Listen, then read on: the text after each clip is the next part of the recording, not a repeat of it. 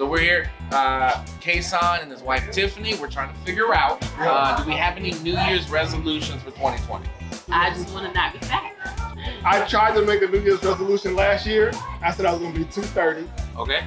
I ended the year 261. Do I have any New Year's resolutions? I want to stop saying nigga so much. I'm a nigga holic. I start and end sentences with nigga. Like when I get excited, I be like, nigga. You see what's going on over there, nigga? Is that an issue you This have? nigga's crazy. Nigga. Because diabetes is a family heirloom. I be calling white people niggas. I am, it's ridiculous. We're not, no, we're not the same family. It sounded like for our individual families. Yeah, it's like breathe in, nigga. Nigga.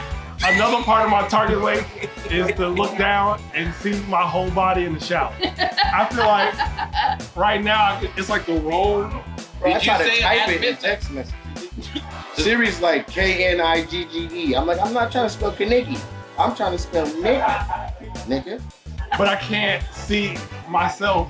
I have to like, and I don't want to do that. From December from December 31st, Yeah. turning the clock to January 1st. Yeah. How long did it take I made it three days.